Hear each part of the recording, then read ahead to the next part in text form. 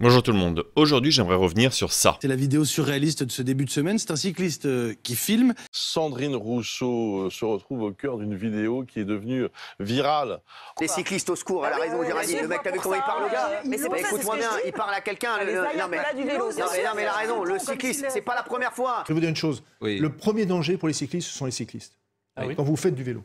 Oui. C'est tout. Bon. Je note juste que pour un taxi, s'il a le moindre accident avec Ouais. un vélo, c'est une catastrophe. Une catastrophe. Deux hommes qui se battent au milieu de la route, est-ce que vous, est-ce que vous allez les séparer? Dans cette vidéo, je vais me concentrer sur la couverture médiatique et la manière dont j'ai dû réagir face à ce buzz, car c'est finalement une situation qui peut arriver à tout le monde, de perdre le contrôle de ses images.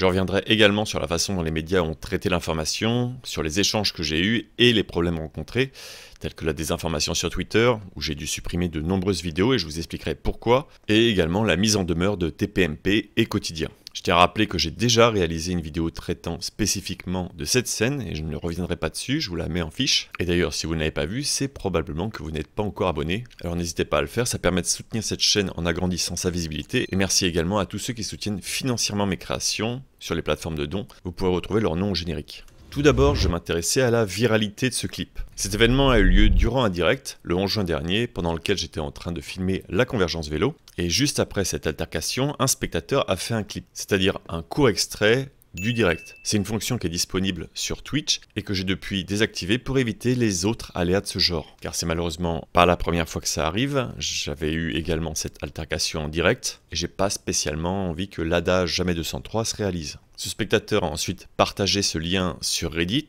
où il a commencé à se propager. Il est ensuite arrivé sur Twitter, sur YouTube et d'autres plateformes, et à ce niveau, je n'avais toujours pas partagé les images et pas spécialement envie de le faire. Parce que pour moi, c'était simplement une anecdote durant la convergence vélo. Tout ça s'est finalement passé le jour même, et finalement, il n'y a pas eu trop d'écho sur le moment. C'est le lendemain où Gilbert Collard va partager les images avec un titre qui laisse penser que Sandrine Rousseau a attaqué le chauffeur avec un gang de cyclistes, que ça va commencer à partir en jus de boudin. En voyant ça et les différentes reprises du clip, j'ai réagi en publiant une version complète et dans la nuit lancé un signalement massif sur Twitter pour faire supprimer l'ensemble des vidéos qui ne contenaient qu'un extrait de la scène et qui ne créditaient pas l'original. Et d'ailleurs c'est ce que je vous recommanderais, si vous lancez un signalement, faites un groupe avec l'ensemble des médias signalés et pas l'un après l'autre pour éviter de vous battre contre un hydre où à chaque fois que vous supprimez un média, un autre apparaît. Il est également important de ne pas vouloir supprimer purement l'existence du dit média au risque de créer un effet stressant qui, par le fait d'empêcher la divulgation d'une information,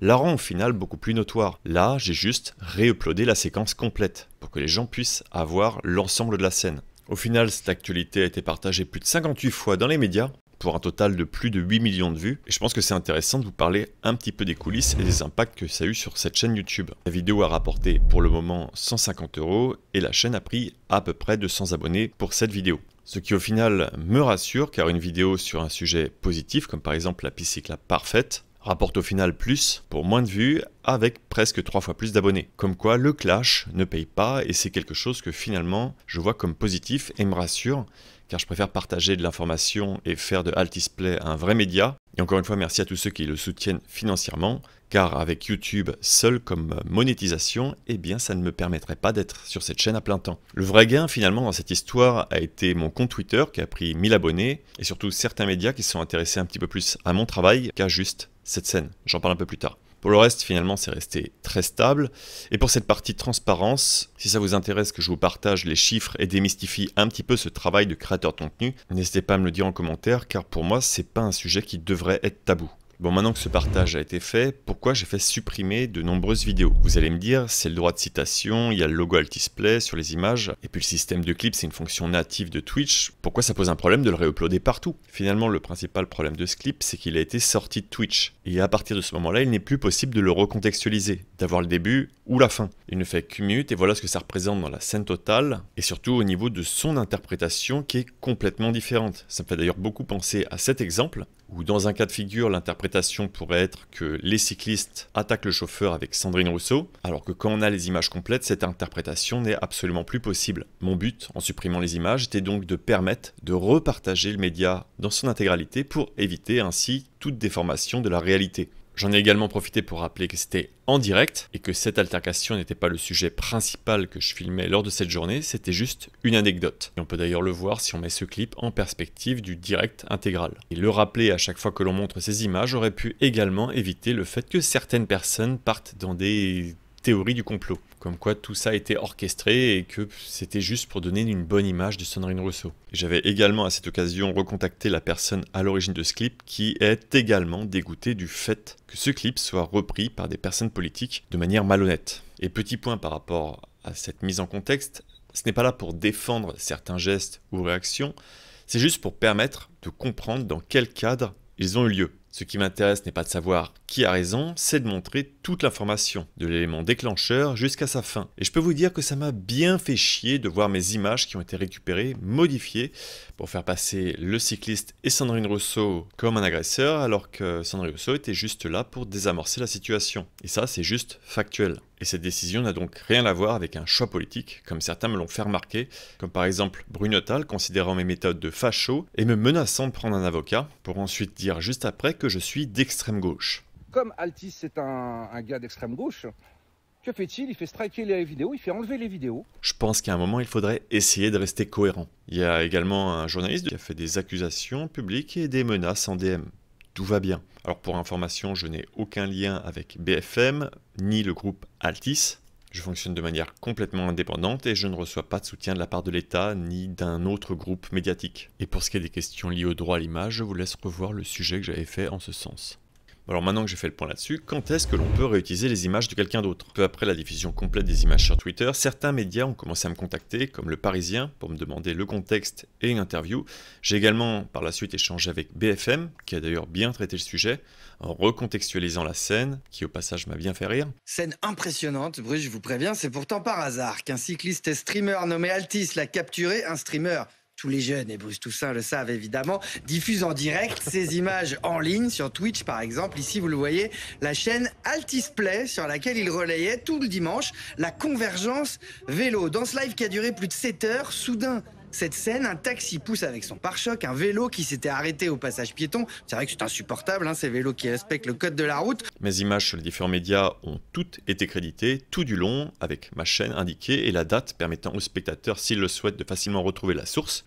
Certains ont même pris le soin de partager mes observations sur la source du problème, comme le manque d'aménagement cyclable ou le véhicule qui est mal stationné, et ce, au-delà des mauvais comportements. C'est un point de vue que je base sur la hiérarchie des mesures, c'est pour ça que je suis convaincu que de bons aménagements permettent de limiter les conflits et seront toujours plus efficaces que de refaire l'éducation des chauffeurs, même si ces deux approches sont complémentaires. D'autres médias ont également repris mes images sans m'en informer, comme M6, mais ici il n'y a pas de problème, ils n'ont pas flouté mon logo, ils n'ont pas flouté la date, et ils ont également pris le temps d'indiquer que ces images provenaient d'un direct. Et au final, une grande partie des médias qui m'ont cité l'ont fait correctement et ont d'ailleurs intégré directement sur leur page le tweet en question, ce qui permet d'avoir la vidéo et le contexte, et c'est finalement beaucoup plus pratique pour le lecteur qui souhaiterait retourner à la source. D'ailleurs, si vous souhaitez utiliser mes images, je n'ai aucun problème avec ça, tant que ça respecte le droit d'auteur qui fait partie du code de la propriété intellectuelle. Et d'ailleurs, les youtubeurs qui ont utilisé correctement mes images n'ont eu aucun problème à se faire, et ce, même s'ils ne partagent pas les mêmes opinions que moi. Parce que là, on est juste sur de la liberté d'expression. Et ce qui permet justement de définir ce que l'on a le droit de faire ou pas, c'est dans l'article L122-5.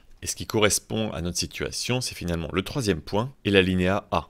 À partir du moment où votre contenu correspond à ces différents éléments et que l'auteur et la source est clairement indiqué, de cette manière-là, par exemple, avec la date, le média, la plateforme, et idéalement le titre du média, et que la vidéo ne se suffit pas à elle-même, c'est-à-dire que si c'est juste un re-upload avec ces différentes informations, ça marche pas. Il faut qu'il y ait un travail qui a été effectué autour de cette œuvre originale pour pouvoir en faire quelque chose d'autre. Et c'est d'ailleurs pour cette raison les streamers n'ont aucun problème à faire sauter les re-uploads et clips sur YouTube, chose que j'ai également fait de mon côté pour tous les petits re-uploads qu'il y a eu. Et c'est d'ailleurs la plupart du temps fait automatiquement par YouTube à partir du moment où vous re-uploadez votre stream.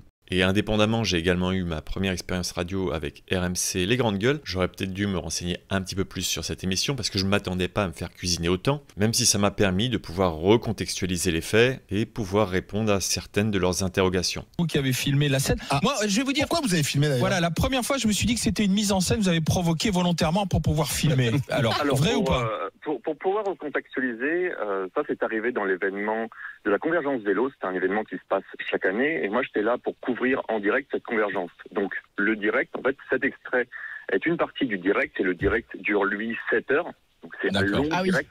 D'accord. Voilà un petit peu pour le contexte. Donc, ce que vous avez voulu filmer, en fait, c'est la vie quotidienne compliquée des, des cyclistes aujourd'hui face aux voitures, quoi, en fait, c'est ça? Alors, euh, moi, je suis créateur de contenu et je parle du vélo comme mode de transport dans les milieux urbains, pas forcément euh, des problèmes, mais plutôt des solutions. Notamment, cette scène est arrivée parce que le chauffeur taxi n'a pas vu le piéton qui était en train de s'engager à cause d'un stationnement interdit euh, qui bloquait la visibilité sur ce piéton. Donc finalement, tout part euh, d'un mauvais aménagement pour cet endroit en particulier. Tout en insistant sur le fait que l'on ne peut pas comparer des insultes avec une menace effectuée à l'aide de son véhicule. C'est un passage pour piéton qui ferme ta gueule le fait que le véhicule soit utilisé comme arme par destination. Ah, c'est mais une ça- arme. un hein, élément- d'accord, Non, aussi, c'est une arme par destination. un Aujourd'hui- raison. aujourd'hui- non, ça, il a raison. D'accord, mais pour vous, la voiture, en, en C'est une arme. escalité, c'est une arme par destination Bah, C'est juridiquement, il a raison. c'est la justice qui le dit. Oui, non, Non, non, vous il a vous raison, avez non, un non. parti- vous avez- vous avez un- vous avez Ça peut par- être une arme par destination. Oui, Ça, c'est d'accord, mais vous avez un parti pris aujourd'hui que la- voiture, Ah bah pour vous, est un danger.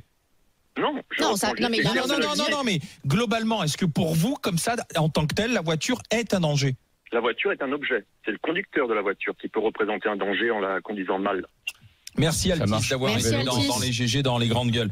Au final, il reste beaucoup de pédagogie à partager autour du vélo comme mode de transport et je creuserai également pour essayer de comprendre pourquoi les cyclistes sont autant haïs. Et à ce propos, on arrive à la fameuse mise en demeure de TPMP. Il m'avait contacté mardi matin pour me demander s'il pouvait utiliser mes images et si je pouvais participer à l'émission. J'ai répondu que si mes images étaient utilisées dans le cadre du droit à la citation, il n'y avait aucun problème. J'aurais aussi expliqué comment fonctionnait ce droit à la citation. Vu qu'ils m'ont prévenu le matin pour l'émission au soir, eh bien j'étais pas dispo, j'avais déjà Aquabike, le mardi soir c'est important. J'ai donc répondu que je resterais disponible par téléphone s'ils avaient besoin d'échanger, mais que je me déplacerais pas. Et à première vue, ça ne les a pas intéressés plus que ça lors du Prime d'avoir plus de précision, parce que j'ai pas reçu de coup de fil de leur part. Mes images ont donc été utilisées pendant l'émission, sans les recontextualiser, en les floutant, du moins en floutant tout ce qui aurait permis d'identifier l'auteur des images. Nickel, la consigne du droit d'auteur a bien été respectée.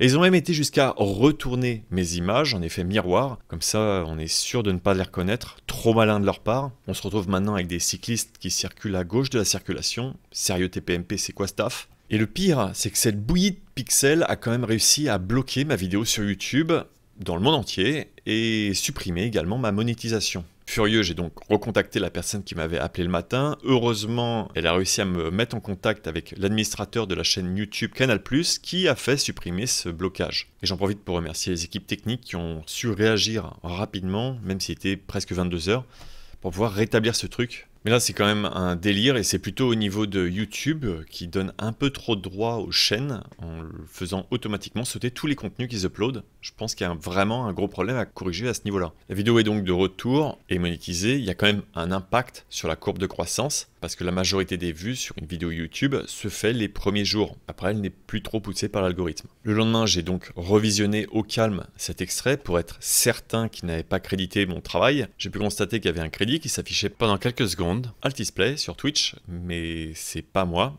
c'est quelqu'un d'autre. Et de toute façon, ça ne correspond pas à ce que je leur avais indiqué par téléphone, c'est-à-dire l'affichage du crédit tout au long de l'utilisation des images. J'en ai également profité pour les troller un petit peu sur Twitter en leur réclamant 20 000 euros pour l'utilisation de mes images, étant donné qu'ils ont utilisé 1 minute 18 de ma vidéo. Je me suis basé sur le calcul qu'avait fait Cyril Hanouna. Eux, tranquilles, ils vont prendre des images d'il y a 2-3 mois, ils nous appellent même pas. Donc ils diffusent des images. Je vous explique, vous allez recevoir la note demain, ça va être salé. Je vous le dis, parce que c'est 10 000 euros la minute. hein, et toute minute euh, démarrée, c'est des minutes euh, qui doivent être payées. Donc vous avez, il y a des images de 4 secondes, c'est 10 000. Donc vous avez pris 10 images, c'est 200 000. hein. Je- Et au vu de l'ensemble de ces éléments, j'ai donc entamé une mise en demeure contre TPMP. Alors pourquoi une mise en demeure et pas directement une action en justice? Car depuis le décret de 2015, il est obligatoire avant toute action judiciaire, saisine du tribunal, de justifier une tentative préalable de résolution de litige à l'amiable.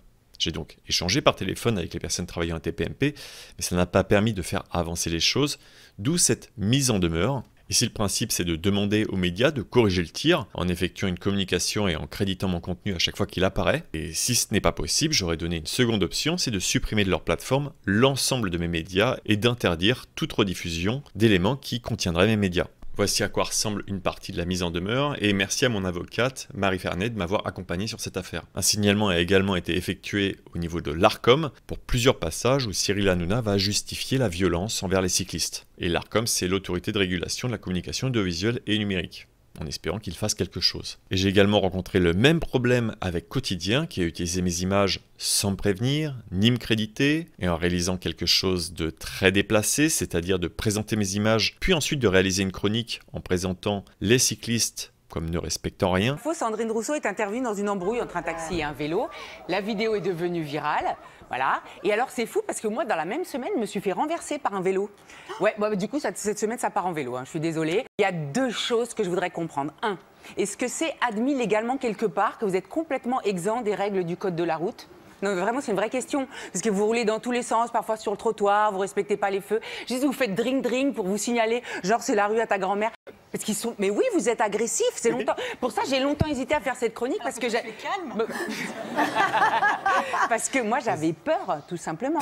Vraiment. Ensuite, de nouveau enchaîné sur ma séquence, réalisant ainsi une figure de style qui s'appelle l'empoisonnement du puits, où l'on donne préalablement de l'information négative, vraie ou fausse à propos d'un adversaire, dans le but de décrédibiliser ou de ridiculiser tout ce qui sera présenté par la suite. Et ce qui est présenté par la suite, c'est ma séquence, qui pourrait faire croire que c'est le cycliste qui se met à attaquer l'automobiliste parce que justement il aurait fait quelque chose de mal avant, ce qui aurait pu agacer l'automobiliste. Ah, t'avais envie de le lâcher celui-là. Euh, vous avez vu la vidéo de, de Sandrine Rousseau? Mais non. Vous l'avez pas vu? Mais non, j'avais pas vu. Ah d'accord. Non. Ok. Vous en pensez quoi Elle... Alors qu'au final, sur les images, on voit un cycliste qui s'arrête au niveau d'un passage piéton pour laisser passer quelqu'un, et le chauffeur de taxi s'énerver. Étant donc ici une faute déontologique journalistique, j'ai également saisi l'ARCOM pour ce point, pour faire remonter le problème. Et ça, ce n'est pas justement lié à moi et à l'utilisation de mes images, c'est n'importe qui qui peut le faire, saisir l'ARCOM. Dès que vous voyez ce type de manipulation, il ne faut pas hésiter à le faire remonter parce que c'est pas normal les médias fassent ça. La motivation ici, c'est que les médias et autres plateformes respectent mieux le travail des créateurs de contenu. Et je ne suis d'ailleurs pas le premier à avoir un problème avec Quotidien. Il y a Different Intelligence qui avait également vu son travail se faire reprendre sans même être crédité une seule fois, et qui est actuellement en procédure avec Quotidien, qui avait refusé de refaire une communication et de corriger le tir en le créditant. Je lui souhaite bien du courage et j'espère ne pas en arriver là. Heureusement, les choses commencent progressivement à changer, comme par exemple le travail que j'ai pu avoir avec Parisien, BFM, l'Obs et même Libé, et d'autres qui me créditent et qui échangent et qui prennent en considération justement ce travail qui est effectué par les créateurs de contenu. C'est pour ça que je trouve qu'il est important de marquer le coup et de ne rien lâcher. Je vous tiendrai informé si TPMP ou Quotidien rétablissent le tir, et si ce n'est pas le cas, finalement, c'est vers vous que je me tournerai pour trancher, pour voir si ça vaut le coup d'aller plus loin en réalisant par exemple une cagnotte, car je ne pourrais pas seul faire face à ces géants, mais je ne perds pas espoir en imaginant que nombre d'entre vous aimeraient voir TPMP répondre à un petit créateur de contenu pour l'utilisation de ces images sans son autorisation. Il était important pour moi de faire ce point avec vous pour passer à autre chose et tourner la page. J'espère néanmoins que vous avez apprécié ce débrief. N'hésitez pas à me dire ce que vous en pensez en commentaire. Et ne vous inquiétez pas, je travaille déjà sur les prochains sujets. J'ai déjà hâte de vous les présenter. Je tiens également à remercier toutes les personnes qui me soutiennent sur les différentes plateformes de dons me permettant ainsi de faire mon travail à plein temps et de réaliser ces sujets. Il est maintenant temps de vous dire à bientôt pour de prochaines vidéos et bonne route